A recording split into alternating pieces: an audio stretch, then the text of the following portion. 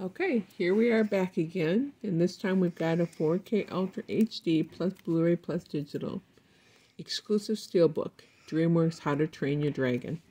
Front, side, other side, and back. Now we're going to open it up, and we're going to see what's inside.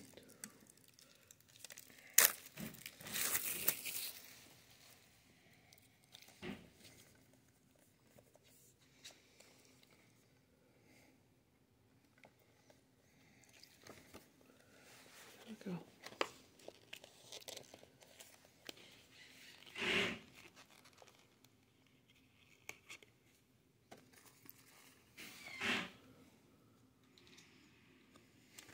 Okay, now we're going to open it up. And inside we've got an insert.